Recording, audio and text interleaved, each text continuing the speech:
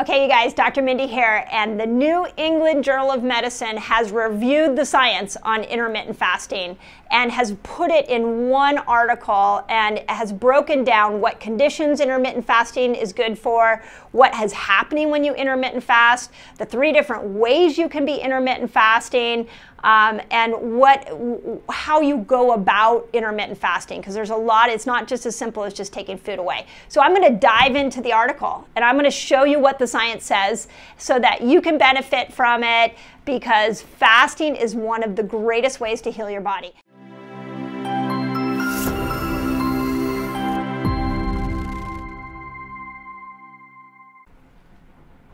Okay, I'm really excited to bring to you guys a new article that came out just last week in the New England Journal of Medicine. And it was all about intermittent fasting. And um, it was really exciting because we are now starting, the medical world is now starting to understand fasting. They're starting to understand the importance of fasting in the healing process. And what the article did is it reviewed all the studies, or many of the studies that have been done on intermittent fasting. And it highlighted what were the, the most significant findings. And so, what I wanted to do for you today is I wanted to go through those highlights. I want to walk through, there were uh, eight things, eight different things that they went through. So, stick with me as I go through this video because I really want you to understand how massively helpful intermittent fasting is to your body and that you're going to start now that it's been in the New England Journal of Medicine, you're going to start seeing your medical doctor having greater conversations with them about fasting. So if your doctor doesn't understand or doesn't know about this study, send them to this video. I'm going to highlight all of the, the key points of this uh, review, and then um, they will have the link so they can go and look at it in the New England Journal of Medicine on its own. So.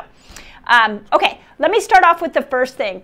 Uh, what is so exciting for those of us in the functional medicine world about the new, uh, the seeing an article like this in the New England Journal of Medicine is that the medical world really loves science, and with good reason. And so we want to be able to see things that we can replicate over and over and over again, and we want to see that there's it was done in a very controlled environment.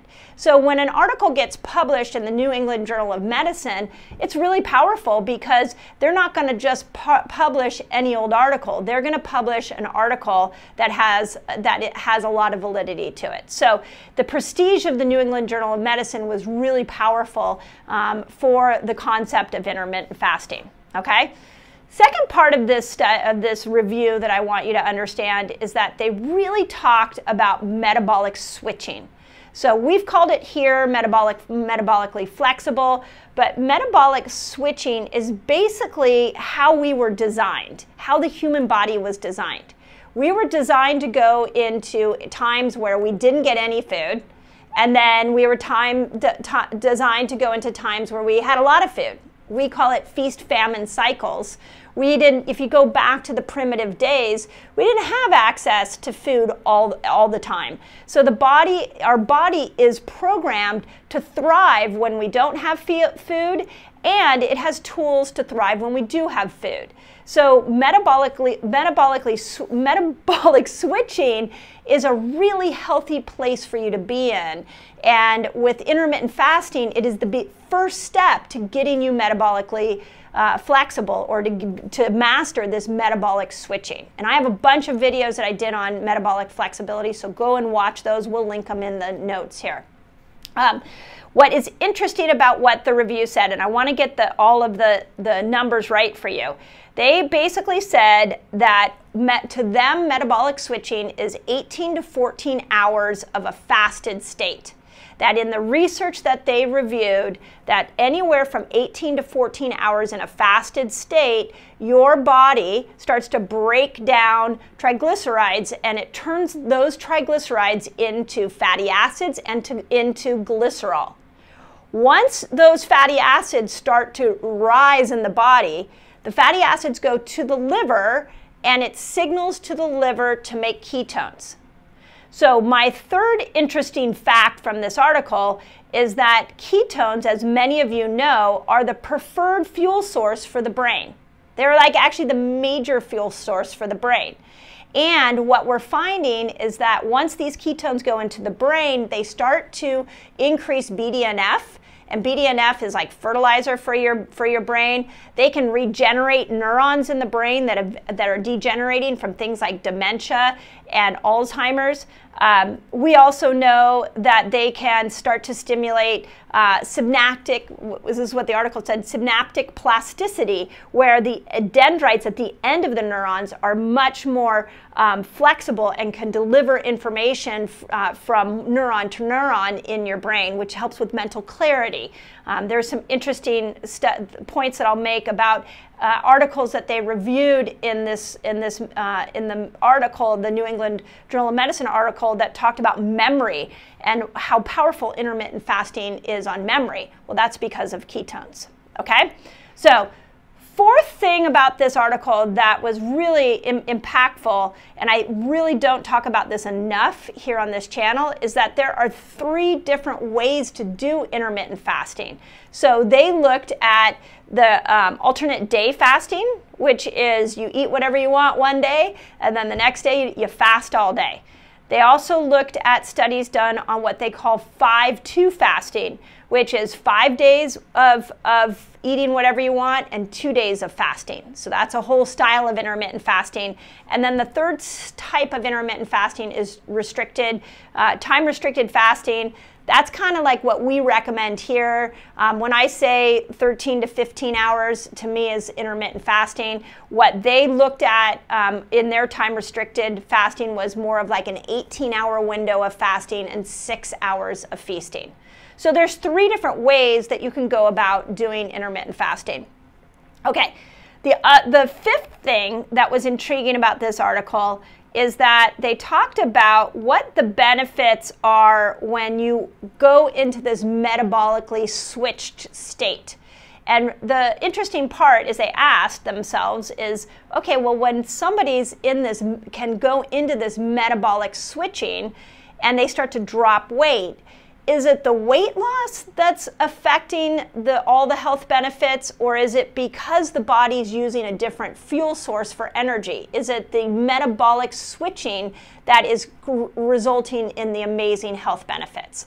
And what they found out is that it's actually the metabolic switching that is really important and that the health benefits are coming because as you do more intermittent fasting, what you're doing is you're encouraging your body to lean into those mitochondria to have the mitochondria start to create more energy. It's the burning of the fat. All of the that is magical for healing. And they went into exactly what metabolic switching is healing.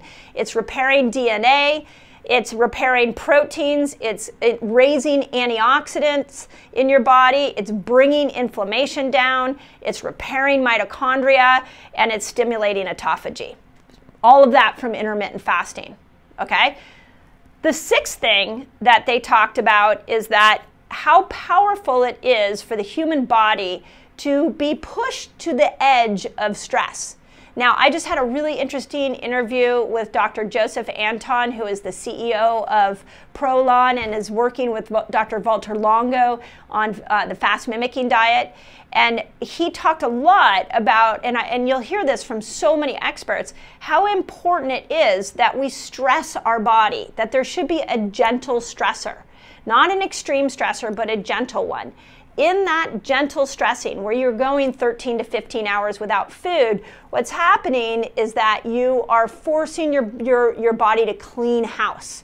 So the analogy, this is Dr. Antoun's analogy, not mine, and, and, and this will come out on Resetter TV next week, is that he said if you have a company and the company is spending a lot of money and you need the company to cut back on how much on, on their, their they're not bringing in as much money so they have to cut back on their spending. And all of a sudden you take all their spending away.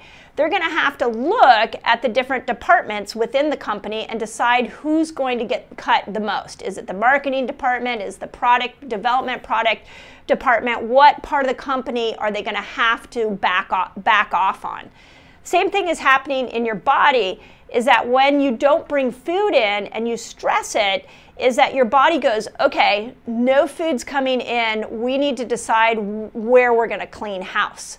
So the intelligence of your body makes that decision on what cells need to be repaired, what pro- what antioxidants need to, to be regulated, what uh, neurons need to be uh, repaired in the brain. So it, you're leaning into this intelligence, but you only get that intelligence by getting into this stress adapted state. So, and I love that the article pointed that out. Okay, seventh thing that the article talked about is that there's really three major reasons, three conditions that you would want to live a intermittent fasting lifestyle. So you would want to keep intermittent fasting going forever in your life for three different reasons. One is that it is there's proving to increase lifespan. So the article, the study that was done on this is 80% that they saw, and this was a rat study. So rats increased their lifespan up to 80% when they maintained a regimen of eh, alternate day fasting is what they did, of intermittent fasting every other day. So you can increase your lifespan. Obesity, they found that absolutely on making people more insulin sensitive, that fasting and intermittent fasting lifestyle absolutely helped with that. Hypertension, the, the, it showed that it helped with hypertension and inflammation and some of the things that come from being carrying extra weight on your body. And then the last part of this is that they really found that it is helping with memory, especially executive function, which is the prefrontal cortex. Um, this was after 12 months of doing intermittent fasting. They found that it helped with verbal memory, the executive function, it helped with um, working memory. Uh, so, again, I'll link the article in there so you can see it.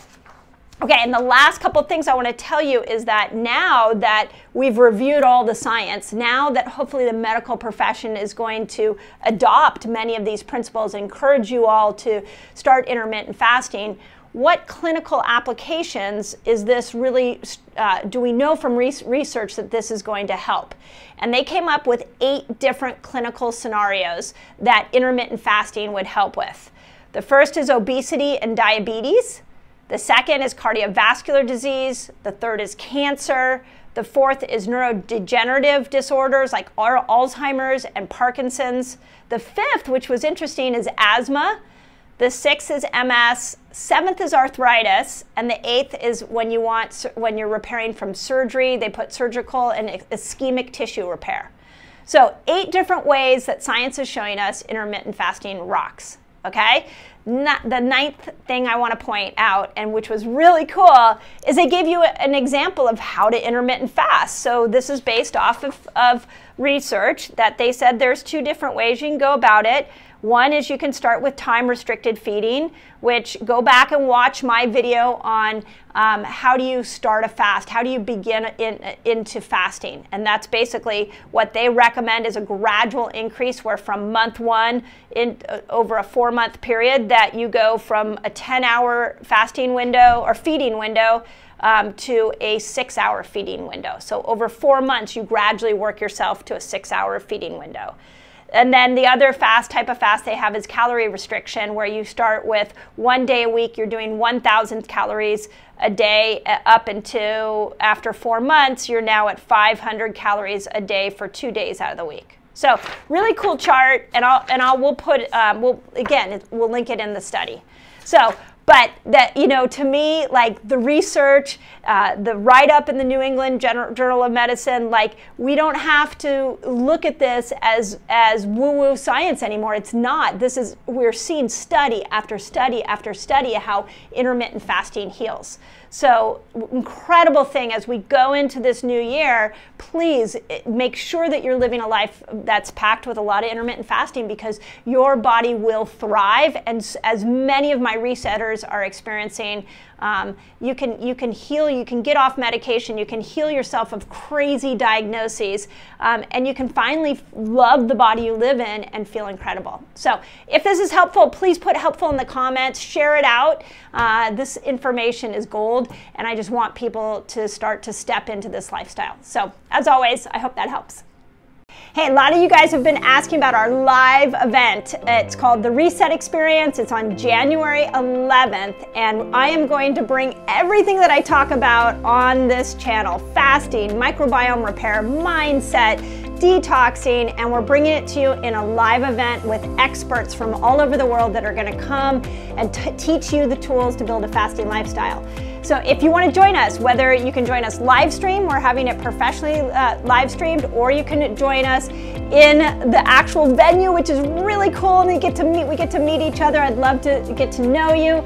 Just put Reset Experience in the comments, and we'll make sure you get a link. Excited to share this with you.